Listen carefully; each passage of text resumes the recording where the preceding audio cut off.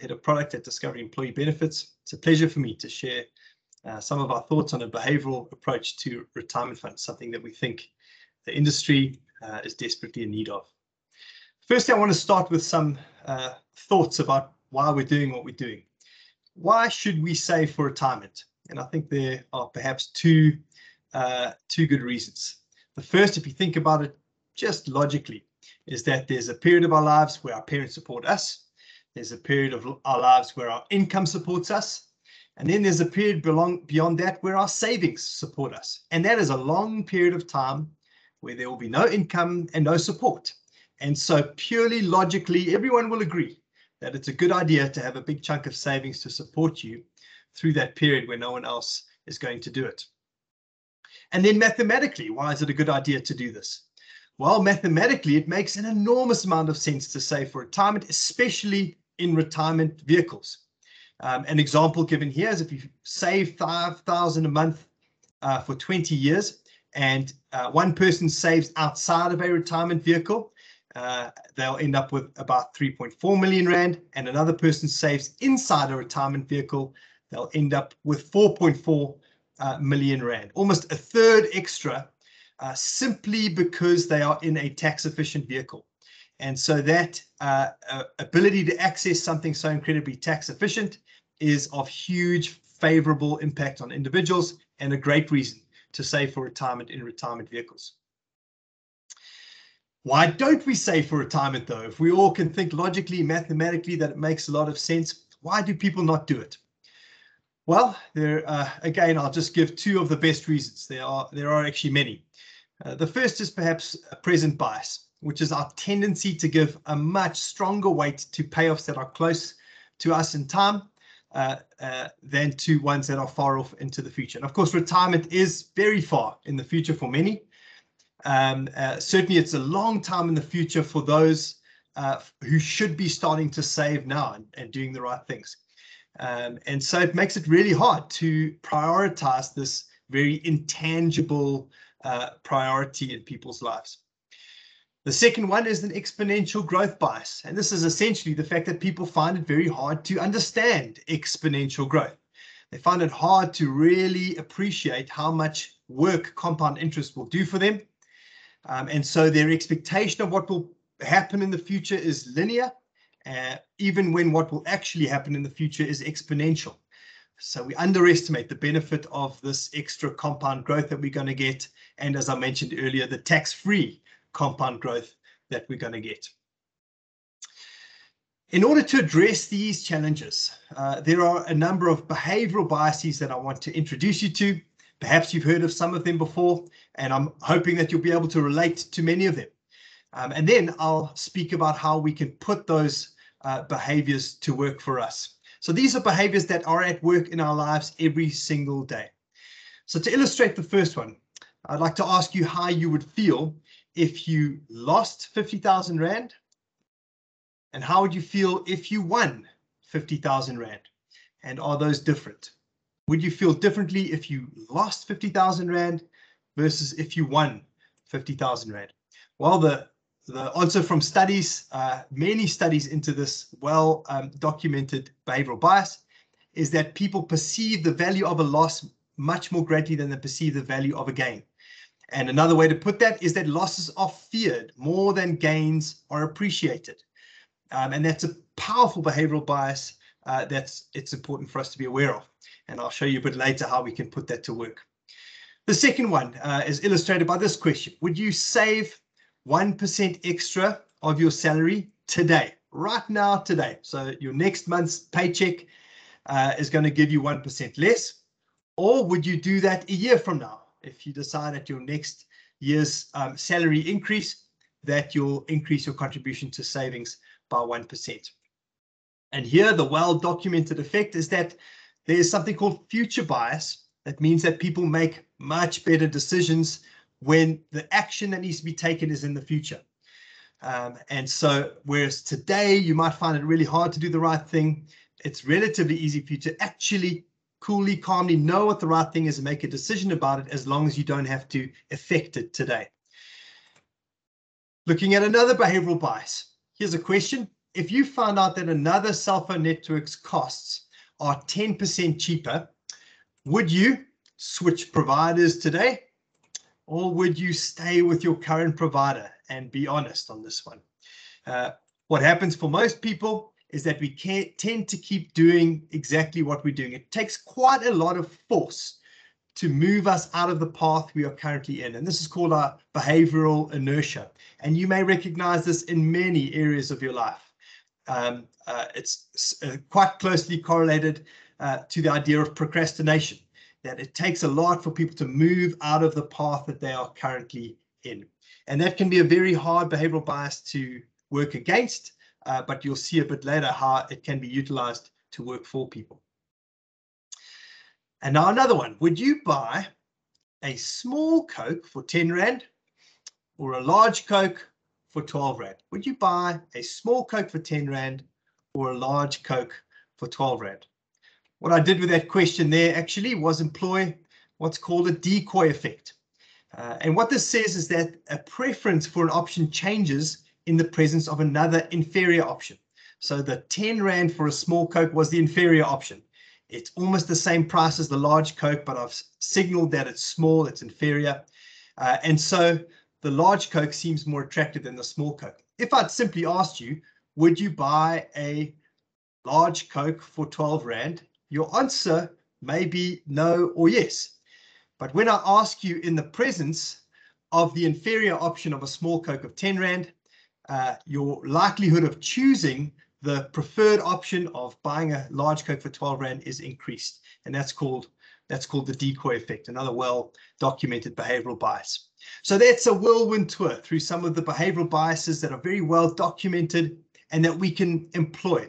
And what I want to show you now is how these behavioral biases can work for us, can work on our behalf through cleverly defined, uh, designed interfaces, uh, programs, incentives, etc.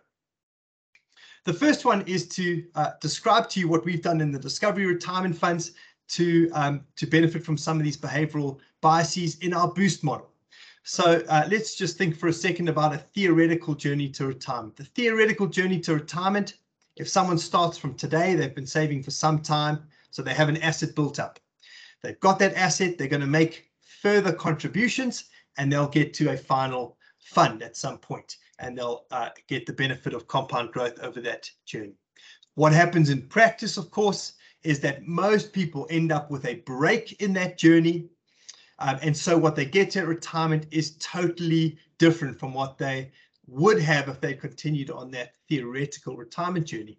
Now, what contributes to most people, really, by far the majority of people, having at least one break in their retirement journey? One of the thing that, things that contribute to that is that there is no loss at the break point. At the point that you decide to take your retirement savings in cash, it is a pure gain scenario. You are going to get a bigger lump sum of cash out than you've ever got out before. You set your eyes on it, your eyes start watering, and uh, you can think of all the really good, uh, even responsible things you could do with that money. Um, and so you end up end up doing it. What we do by introducing boosts is that firstly, it adds real money to someone's outcomes. Um, and that money is afforded by the fact that if the person were not going to stay to retirement, uh, we would earn much less fees on that person through their lifetime. So we can present value the extra fees that we would earn and give that to an individual at, as boosts along the way in their journey. So that's all shared value funded. It's funded by the person's actual behavior of staying invested to retirement. So we add those boosts in. What that means at the potential breakpoint is that we then um, utilize the behavioral bias of loss aversion. Instead of having a pure gain scenario, you have a gain, cash out, and a loss. A potential boost amount, which could be anything, for argument's sake, 200,000 Rand, a big amount of money that you are going to lose if you take this cash out. And so in many cases, people will still make that choice. These things are not binary, but it certainly sways the probabilities uh, in favor of people doing the right thing. There'll be many people who, because of uh, that boost being in place, that loss being presented to them at the point of decision, will decide to leave their money in cash, knowing for many other good reasons that it's the right thing to do. The second uh, uh, uh, intervention that we've designed, utilizing a number of behavioral biases that I introduced earlier, is our contribution optimizer. So to illustrate that, I've shown in a very simple way um, what a, a, sort of normal journey to retirement looks like. A person's salary increases over their lifetime. The percentage of that salary that they contribute to retirement stays constant. And so their net income increases every year. If they continue on this path, their net replacement ratio, let's say for argument's sake, is 50%. Uh, what we would propose would close the gap for someone is to make small incremental increases in that contribution over time as their salary goes up so that their net salary still increases, but increases at a slightly lower rate. And it happens slowly over time. And amazingly, that will actually get them to a replacement ratio of 75% or whatever it is that they're targeting. Uh, one could find the solution that solves for that problem. So how are we using behavioral science in this? The first is accessing this behavioral bias of future bias. So the fact that people make good decisions about their future selves. Uh, so hereby offering someone today to make a decision about what will happen when their salary goes up next year. If you've adequately convinced someone that increasing their contributions is a really good thing that they want to do, um, and you offer them the opportunity to do that at the next salary increase date and salary increase dates beyond that, uh, they are quite likely actually to accept that um, option. The second is a decoy effect. What we do in the Discovery Retirement Fund is when we offer that opportunity, we offer two options. Instead of making it a choice between should I do this or should I not do this, we make it a choice between should I do this at 2% over a long period of time or at 4% over a shorter period of time, or 1% and 2%, whatever the specific percentages are that solve for that individual's retirement savings gap. And so there we find more people taking a decision uh, because we've employed uh, the decoy effect in that. And then finally, the most powerful one perhaps in this space is behavioral inertia.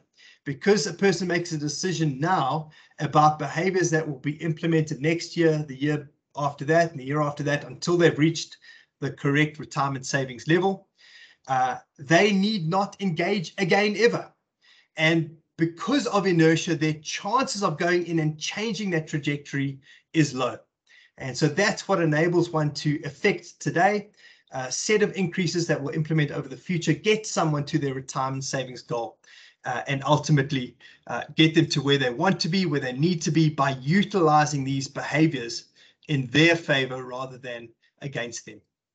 And so we've implemented that uh, in the Discovery Retirement Funds. I'm just giving you here a short uh, replay of what that visually looks like, showing someone what their projected income is, what the gap is, giving them a personalized goal that will close their gap. And as they select that goal, the visual feedback that they are now on track for retirement, which incidentally again employs loss aversion and something called an anchoring bias. Um, so that that person now knows they're on track for a funded retirement and they're even less likely to alter that trajectory because they like the idea it's emotionally gratifying to know that they are on track for a funded retirement, something they perhaps thought they never would be. So that's what I wanted to share with you today. I hope it's been insightful. Um, I hope you've learned something or at the very least um, found it entertaining and interesting. Um, and, uh, and we really hope that more in the retirement savings industry will employ these biases, these tools in the service of what is a social need in our country and truly across the world of doing all we can to help people to sh shift their retirement savings trajectories so that they have dignified retirement outcomes. Thank you very much for listening. I look forward to engaging with you.